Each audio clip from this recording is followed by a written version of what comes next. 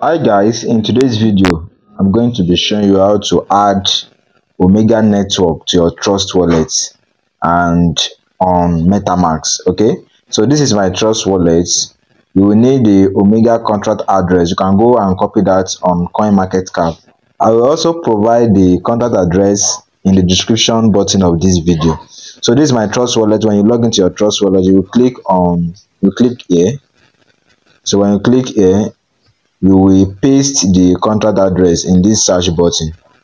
So when you paste it it will load.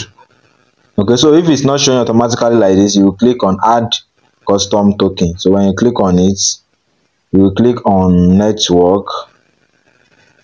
You will change the network rather you change the network to smart chain. Okay this is bnb smart chain. You will click on it then you will paste the contact address here. When you paste it here it will show automatically. Can you see now? It has it has show omega network. This is the symbol and this is the decimal. So you click on save. Okay guys as you can see now that it has been saved successfully. So guys this is my metamask app. When you open your metamask you click on settings. When you click on settings you will select network. Okay?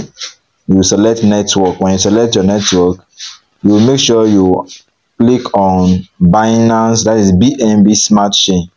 When you click on it you will click on add network or, or save. So i've already done this that is why this save is not showing. When you click on save you go back to your metamask smart chain network. This is my metamask smart chain network okay? So you click on import token. When you click on import token you will paste the contract address here. That is omega network contract address and you will click on import. So it's not showing. You are going to claim it uh, manually. You click on custom token. You will paste the address here. That is the contract address. You click on enter. So the next thing it will show automatically. Can you see that it has been it has shown automatically? And you scroll down and click on import.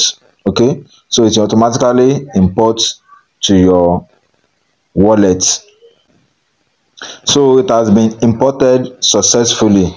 Now this is the omega network token. So guys this is how to activate the omega network on both your trust wallet and your metamask wallet. So guys if you find this uh, useful make sure you subscribe to this channel. If you are yet to start mining omega network kindly check the description button. You will see a link there so that you can start mining.